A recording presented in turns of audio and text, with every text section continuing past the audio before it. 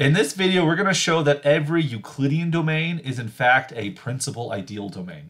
So what we have to do is using the Euclidean norm, uh, demonstrate that an arbitrary ideal is in fact a principal ideal. So clearly, if I take the zero ideal, that's just generated by the zero element itself. Uh, so we don't have to worry about that. So let I be a non-trivial ideal of this Euclidean domain. Uh, we'll call it D for the sake of it. And so let B uh, be some non-zero element inside of the ideal. And we're going to choose it so it has the smallest norm. Because uh, because of the Euclidean norm that every Euclidean domain has, we have this function, uh, call it nu, that will send our elements to something inside the natural numbers. As it's the set of natural numbers, we have the well ordering principle. So there is an element of smallest norm. We're going to choose that element to be B. This is actually why we threw zero out, because by construction, the norm is not defined for the zero element. So since B is inside of the ideal, the ideal itself, I, contains the principal ideal generated by B. And so what we want to argue is that this ideal is in fact equal to uh, the principal ideal generated by B. That's going to be our plan of attack here. So we have to argue that every other element in the ideal um, is a power of B, or I should say it's a, it's a product of B of some kind. So take some other element A. Now, I don't have to rule out the possibility of being zero here because zero times B would be zero. No big deal. So take, take an element A that's inside of this ideal. Since we have a Euclidean domain, we have the division algorithm.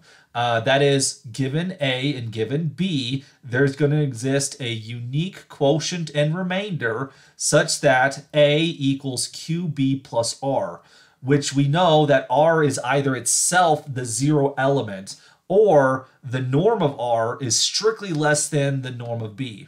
Now, since I is an ideal that contains B, the product QB must belong to the ideal. I mean, it's an ideal after all. And so if you manipulate this equation, this is the same thing as saying R um, is equal to A minus QB, um, for which A is inside the ideal by assumption. QB is inside the ideal since it's in since B is in the ideal and well, it's an ideal. Therefore, the difference R minus QB is inside of the ideal. That difference is this remainder R.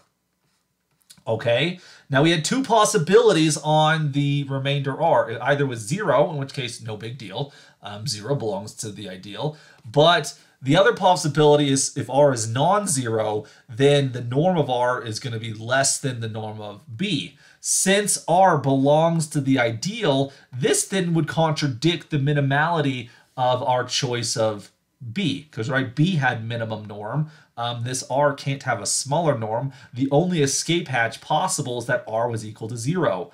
Now, if R equals zero, that would mean that this equation, since it's equal to zero, uh, we would get that A equals QB, um, which is an element of the principal ideal generated by B, as we can see right here. This, and since A was an arbitrary element, this would then show that I is, a, is contained as a subset inside the principal ideal, thus giving us the equality we wanted. Um, so every ideal in the Euclidean domain is in fact a principal ideal. That then proves it's a principal ideal domain. Now, as we've seen previously, every principal ideal domain is a unique factorization domain. So every Euclidean domain is likewise a unique factorization domain. Uh, we in a Euclidean domain we have unique factorization, uh, unique prime factorizations. It's pretty nice, and this comes from a consequence of this division algorithm, uh, for which again we're modeling this based upon the behavior we saw in the integer ring because of the because of division algorithm, because of the well ordered principle.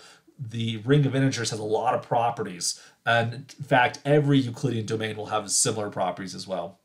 So Euclidean domain is both a PID and a UFD because every PID is a UFD. We have seen some examples in previous lectures that an integral domain doesn't have to be a UFD. Um, we've also, well, we've talked about examples where a UFD doesn't have to be a principal ideal domain. We'll prove that some other time. Um, I did want to close this video with stating that it is possible for a principal ideal domain to not be a Euclidean domain, that these are not equivalent notions. And so I want you to consider the element theta, which we're going to define that to be 1 plus the square root of negative 19 over 2. And then I want you to consider the integers adjoined this element theta.